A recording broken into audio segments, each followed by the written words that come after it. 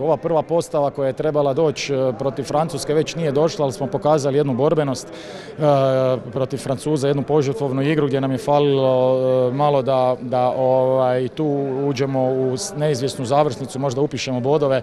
Nakon toga nam se promijenila opet ekipa, uspjeli smo još nekako to izvući sa Musom i, i Jelinićem, budući da su oni već i prije bili s nama pa su znali kako to funkcionira.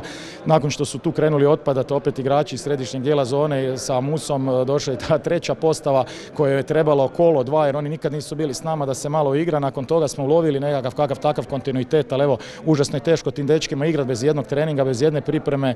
Vidjeli se, vidjeli se da smo se borili do kraja, ovaj, vidjelo se i umor, ovaj, ali evo svaka čast moje ekipi.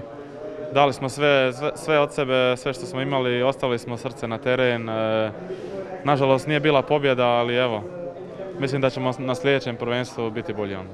Pa da, mislim da je Hrvatska rukometna nacija i uvijek treba gledati prema gore, da uvijek treba bolji rezultat, ovaj, tako da ne smijemo imati sad izgovore ko nije bio tu, zašto nije bio tu, bila je tu korona, svi su imali probleme i zato kažem da ćemo se mi vratiti onda što jači. Koliko smo igrača promijenili svaku utakmicu, još da su ti igrači svi u sredini obrane, da se kompletno minja sve što si vježba 20 dana i da su se ti igrači u jedan dan uspjeli uklopiti, odraditi nakon 20 dana odmora što su imali kući i odraditi utakmicu, tako da stvarno si nemamo šta prigovoriti.